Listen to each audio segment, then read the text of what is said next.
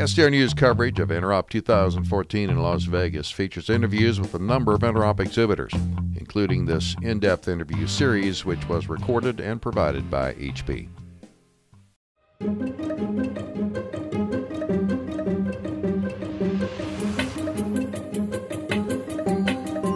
One of the really the exciting part of our announcement as well is the network optimizer. I mentioned that, and uh, so joining me here is Andrea Fornasarig. Andrea, thank you so much for joining us.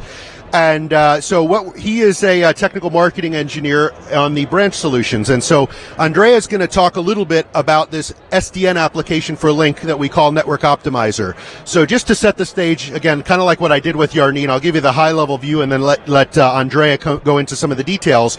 But basically, what we've got here is sometimes when you have a Lync conversation, whether it's desktop sharing, whether it's video, um, sometimes your performance and your your is not exactly what you'd want, and it, it, might be choppy video or choppy audio, or you might have a desktop sharing that's very delayed, and someone saying, "Oh, I'm on slide six, and you're seeing slide four.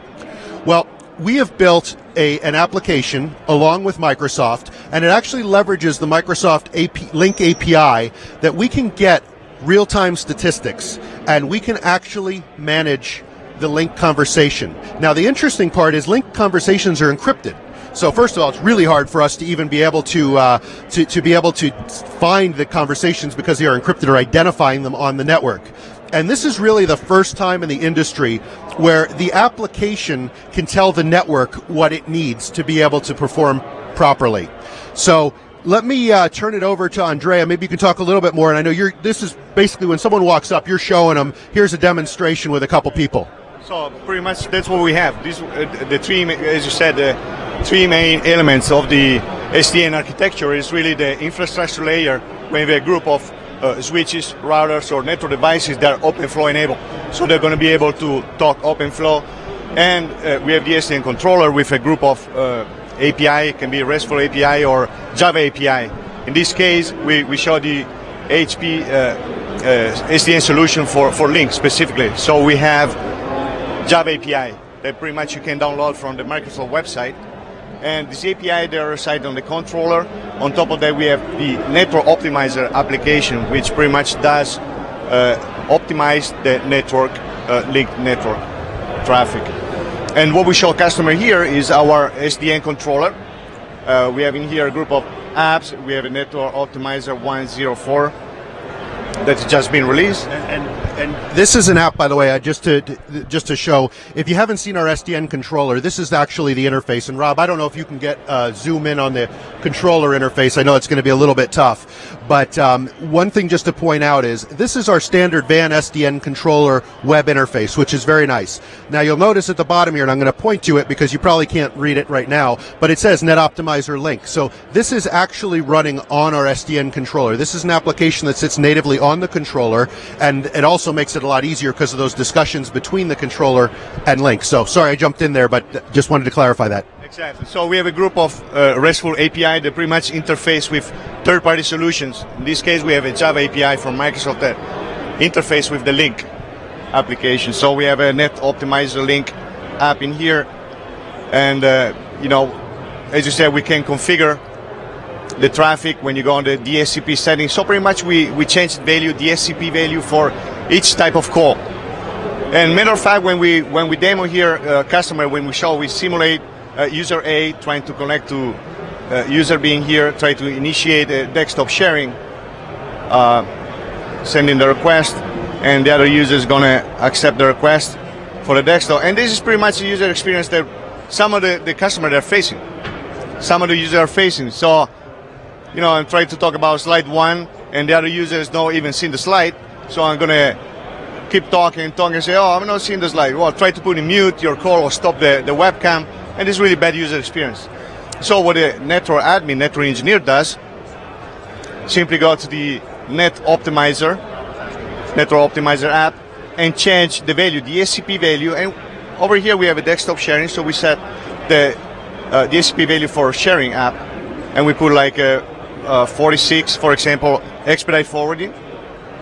We're gonna click apply.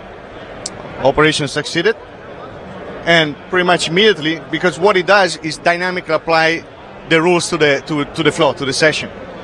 And as you can see, we can move the slides, and they are pretty much in sync. And the other beauty of this application is really the dashboard, where we can see number of sessions, eventually uh, licensed users, and uh, uh, active sessions, and some of the quality experience metrics, which is going to give you the good calls, uh, bad calls, and acceptable calls. So yeah, this is uh, actually what you just showed, Andrea, is really important. Also, like one of the things that people probably aren't really used to seeing or getting is quality of experience, MOS scores, and being able to actually find out. You know, a lot of times the way they find out about how the quality of the calls is someone's calling IT, screaming at them, saying my audio is broken up. This is a way for, for IT administrators proactively to get a really good feel for how the Lync experience has been, and to be able to do that. So this this uh, this one view here really shows a lot of different graphics and a lot of different things that really enable some amazing stuff for, from a from an IT administrator's viewpoint. To eventually troubleshoot or support the, the infrastructure, yes. So, is there anything else you want to show, that's pretty much? Okay, and, and as you so just to summarize from a what you did is you set the uh, DSCP marker up at 46, which did uh, expedited forwarding.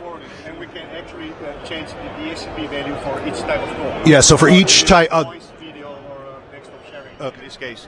I forgot to put the mic in front of you, so say that one more time. So pretty much yes, we, we can change the SCP uh, value mark point for each type of call. Can be voice, video, or uh, desktop sharing. And again, this one is specifically for Lync.